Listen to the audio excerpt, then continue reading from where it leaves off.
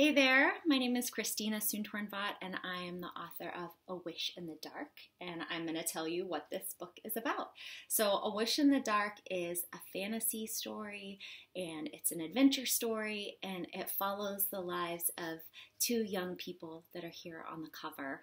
Uh, the first is Pong, and Pong, he, the story starts off he's got kind of a, a tough start uh, to life. He was born in a place that is pretty much like a prison. He is an orphan. And the rule in the world where he lives is that if you were born in this place uh, and you don't have parents, you have to stay there until you turn 13. Now, Pong has a best friend named Somkit, and Somkit and Pong, they're, they're both orphans and they are best friends. They're more like brothers and they help each other through everything. And so they kind of, you know, help each other through. But even so, Pong hates it there and he really longs for a better life, a more free life. Um, so one day he sees an opportunity to escape. And he does. Um, the the the place where the prison is located is on a river, and so he escapes by sneaking into a boat that takes him downriver where he gets off and um, and he runs away. So Pong has a mark on him that shows that he belongs to the prison. And if anybody sees it, they'll know that he ran away and they could turn him in and he'll have to go back. So he runs into the into the jungle and he finds a temple.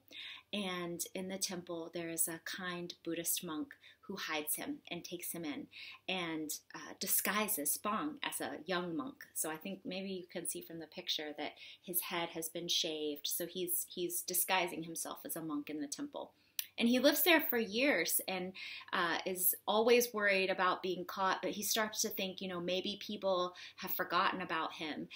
And that is when he encounters the next character in the story, and her name is Nok and Nok is the daughter of the prison warden.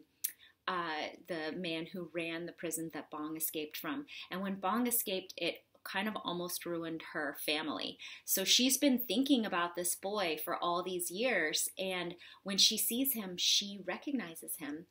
Uh, and to Nok, uh, she thinks that he broke the rules, you know, and Nok follows the rules. She's a really good girl, um, and she thinks the right thing to do is to turn him in and to have him face the consequences.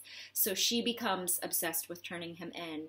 Of course, he can't go back to jail and he runs away.